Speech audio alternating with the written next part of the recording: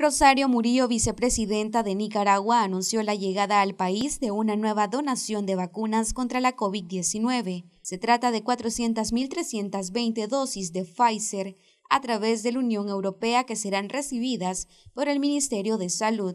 Aquí tenemos también compañeros, compañeras que estamos recibiendo esta mañana 400.320 dosis de vacuna contra el COVID, vacuna Pfizer a través de la Unión Europea llegaron esta mañana y van a ser recibidas formalmente el día de mañana con el reconocimiento por el aporte de parte de nuestro pueblo, las familias nicaragüenses, nuestro gobierno en el Ministerio de Salud.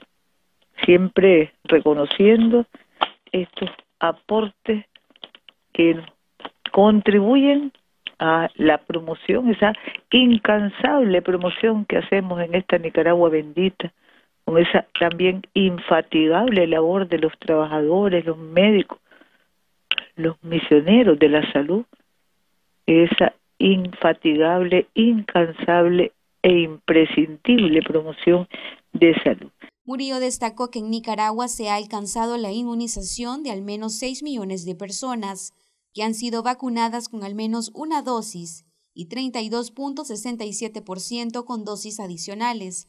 Con respecto a las personas con vacunación completa, ya se alcanzó el 86.82%. Bien, hoy queremos destacar que vamos avanzando en la vacunación, casi 6 millones de personas, decíamos, vacunadas con al menos una dosis y 32.67 adicionales, personas que han recibido dosis adicionales, personas sobre el 86.82 que tienen vacunación completa. Para Noticias 12, Gabriela Solórzano.